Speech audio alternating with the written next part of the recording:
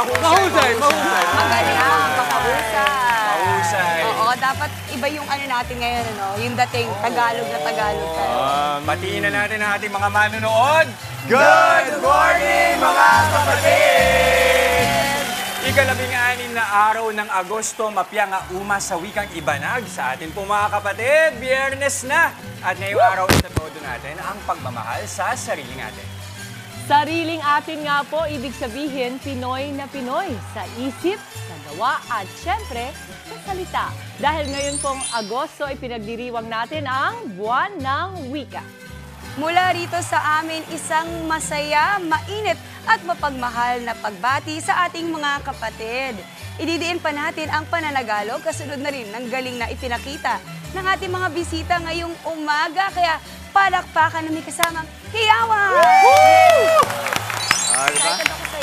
Dahil para sa akin, din na din, eh, no? Ah, kasi, mga kapatid, ang hamon sa akin ng mga producers natin na ngayong araw, pipilitin ko na magsalita ng na hindi magsalita ng English. Oo. Producers Pero pa yung lang. hamon, yung hamon ko sa inyo, oh, subukan nyo rin, na walang salitang hiram. O ano, salumpwet, gagamitin mo ba yung salumpwet? Anyway, maligayang buwan Alam niya ng salumpwet. week. Oh, di ba? Maligayang buwan ng wika sa ating lahat, mga kapatid. Kasing ligaya ng pagsasayaw ng ating mga bisita ng balse o eh, ipag-umanhin dahil ito na Ipagpaumanhin. ipag-umanhin dahil ito ang nasusulat na waltz, di ba? Waltz. Sabi ni Chiki.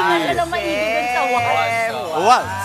Oh, yung tatluhan, two, three. Sa Yeah. dalawa, tatlo. Ta- ta- Yan. ta- Ito nga, parang mga bisita natin ngayon mula sa SFC. Lahing kayo mangging mananayaw. Ang gaganda nila, yung kanilang mga ngiti. Eh, napakaganda talaga ng, ano, ng ah, simula ng ating umaga. Pag-usapan pa natin ang Pinoy na Pinoy na mga sayaw na ito kasama ang kanilang Executive and Artistic Director, Mr. Ronald Vincent Soliven. Magandang araw. Magandang umaga po. Good morning. Good morning, Sir Thank you for Ronald. having us again po. Ronald, ang tawag din sa sineo natin ay balse. Balse Marikina po. Balse Marikina. Ano ba ang balse? Anong Ang Balse Marikina po ay isa pa po sa folk dance namin sa Marikina. Ah, ginagawa po ito tuwing Lutrina. Yun po yung pinaka-story po ng, ah, ng sayaw. Kaya kung napansin niyo po, ah, merong form na nakaganto. Para sa mga lalaki. Meron sa lalaki. Babae. Ah, it represents the hospitality of Mariqueño.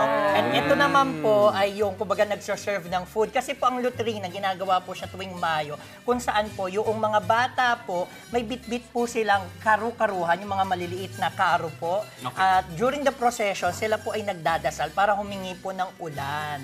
At at the end of the procession po, sa bahay po ng Hermano at Hermana or yung sponsors, doon po sila pinapakain po. So yun po ang tradisyon po namin sa Marikina po. Tuwing uh, naman kasi 5 de Mayo, gusto mo rin yung, bu- eh, yung, ano, yung, ah, yung buhos ng ulan. Opo. Kadalasan sa taon, yun unang po, buhos yun ng tuwing Kasi po ang Marikina po ay dati pong sakahan.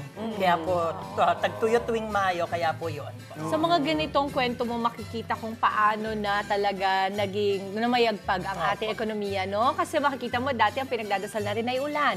Para sa mga magsasaka ngayon, ang pinagdadasal na natin ay tulog. Kasi sa sobrang pagod natin tulogin, eh, sir. Sir, pero gusto ko malaman po, itong mga kasuotan natin, kasi ang gaganda. Kasama din po ba ito sa kwento o istorya Opo, ng ating um, balse? kumbaga ito pong suot po nila, na tinatawag po namin itong mga Maria Clara Mm. ah, dresses po, or kaya yung barong po natin, yan po. Ang galing, ano? Pero kahit yung mga damit na yan, may kwento rin ba? May kinalaman doon sa pinakasayaw Um, natin? na ano po siya, ah, kumbaga nung mga sinauna po, kumbaga para it just to represent po the uh, the essence of the dance which Mm. is po yung halimbawa um, hermano at hermana to represent po yung ganun pong kasuotan. Kita naman natin, sir, yung ating mga dance, yung ating mga mananayaw. Ay, napakabata pa. Opo, opo. Nasa anong mga edad? Kami po sa aming pong grupo ay tumatanggap po kami ng 13 years old po hanggang pataas. So iba-iba po yan from high school po hanggang college. Meron na rin po kami mga professional levels po na members po. Pero nakakatuwa na ang kabataan ngayon ay na-expose pa rin natin sa mga Opo, ganitong yes po. At bagay. nagpapasalamat po kami ng mga sa gantong program, platform po, ay na-expose po natin uli ang traditional folk dances po natin. Oo, at ang alam, ang balita ko din po is, yun nga, yung folk dance, may iba-ibang klase po, no? Opo. Hindi lang isa or dalawa, opo, maraming kasi klase. sa sa norte po may mga tinatawag po tayong Cordillera dances, Mm. sa Mindanao Muslim dances naman po, and Luzon and Visayas may tinatawag po kami yan. Isa po ang Maria Clara at rural dances naman. Pero halimbawa, buwan ng Agosto, ang pinagdiriwang natin ay wika, di ba? Yung wika natin, Pilipino. Pero ano din ba yung kahalagahan na mamulat, lalo na yung mga kabataan gaya nila, ano, sa mga sayaw na likas talaga yung pagka-Pilipino? Opo. Um, malaking bagay po na hindi lang tuwing buwan ng wika na na-expose o nakikita natin muli yung ating tradisyon. Kasi kap- tulad po nito, um, ang sayaw namin ay Balse Marikina na hango lang din sa Latin na waltz yung salita. At yung iba-iba rin po na mga iba't ibang sayaw pa po na may mga ah, distinguished po na salita or wika.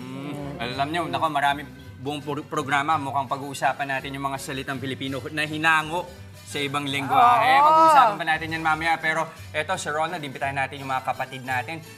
Meron ba kayong any uh, upcoming events o di kaya para maimbitahan nila kayo sa mga susunod nilang ganap? Apa. So, salamat po for having us. Um, ang aming grupo po, Simeon F. Chanyong Kulayan Kayo Manggi, Mananayong na Marikina, ay mapapanood nyo rin po for our recital ng pagbulat ah, sa Riverbanks Mall po. That's August 31. At ang pinakamalaki po namin na kasama din po kami sa isang produkto, ah, pro- ah, production ay ang Manila International Dance Festival sa September 26 to 29 po.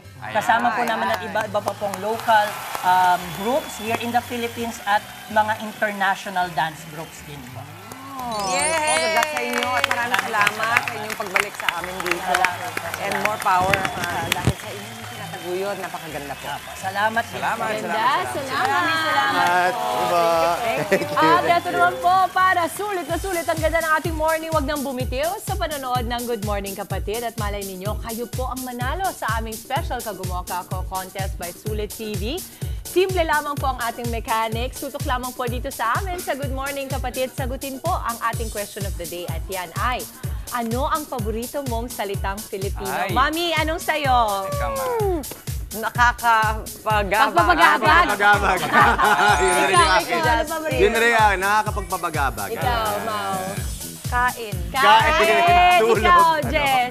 Ah, Workaholic? Ay, hindi pala yun, Hindi, ano? Ay, English yun, English yun. mag-iisip ako, meron akong mga listahan dati ng mga napakagandang salitang Mga Pilipino salita. for Ako, me. Balikan favorite natin. ko ay giliw at sinta. Wow. Wow, ganda. Ang Ganda mga paborito oh. kong ano.